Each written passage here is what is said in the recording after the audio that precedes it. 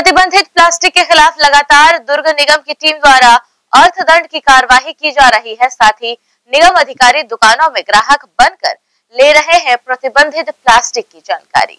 नगर पालिका निगम आयुक्त हरीश मंडावी के निर्देश पर निगम के बाज़ार विभाग द्वारा लगातार प्रतिबंधित प्लास्टिक इस्तेमाल को लेकर कार्रवाइयाँ की जा रही है, जिसके चलते ये टीम दुर्ग के मार्केट गौरव पथ सेंट्रल जेल के पास महाराजा चौक, बोरसी चौक, पुलगांव चौक, नलघर के सामने न्यू बस स्टैंड के अलावा अन्य जगहों में बाज़ार विभाग की टीम ने बाज़ार अधिकारी थान सिंह यादव के नेतृत्व में टीम द्वारा प्रतिबंधित पॉलीथीन डिस्पोजल जैसी कैरी बैग सभी पदार्थ पर जब्ती कार्रवाई की गई और जुर्माना भी वसूला गया।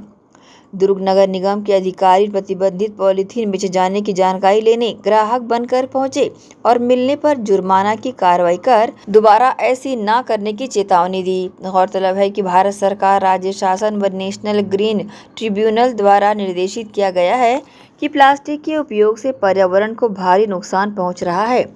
ये ऐसा पदार्थ है जो कभी नष्ट नहीं होता। इसी कड़ी में निगम के बाज़ार विभाग की टीम ने 35 छोटे बड़े व्यापारियों से कार्रवाई के दौरान छापेमारी में झिल्ली से अर्थदंड कर गंदगी फैलाने वाले व्यवसायियों से भी अर्थदंड वसूला।